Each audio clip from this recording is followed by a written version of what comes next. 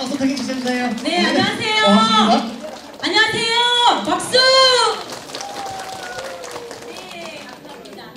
오늘 한마당 어울림 마당에 오신 우리 어르신들 또 너무 행복하고 아름다운 모습이에요. 그래서 저도 웃음이 막 나요. 근데 박수가 적어서 다시 들어갔다 올래. 자, 박수 지르시고. 반갑습니다. 예, 오늘 우리 어르신들 만나 너무 영광이에요. 예, 제가 시간이 별로 없는 관계로 잠깐만 우리 어르신들 잠깐만 웃기고 또 재밌는 노래 한 개 해드리겠습니다.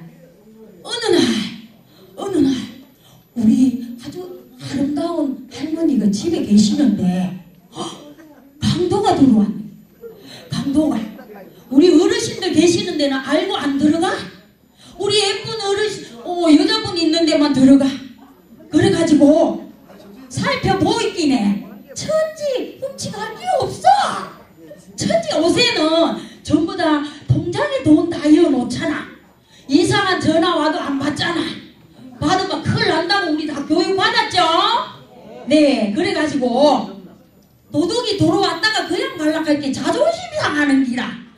이씨, 그냥 내가 도둑 체면에 못이 그냥 갈 수 없다.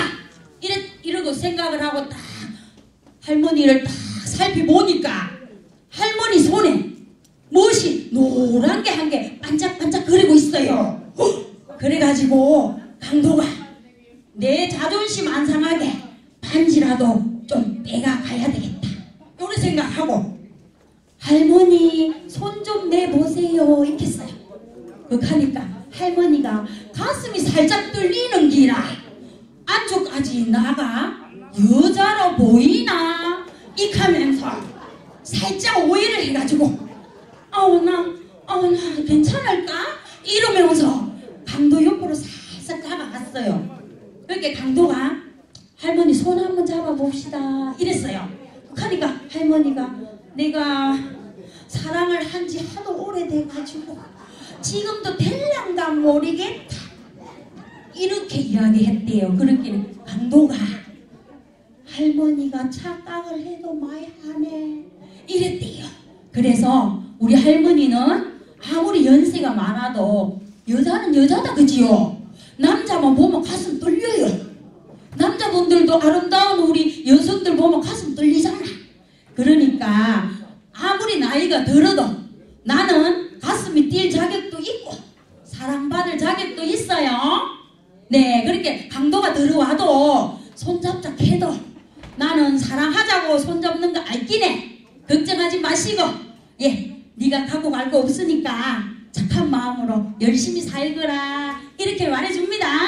네, 여기까지입니다. 감사합니다.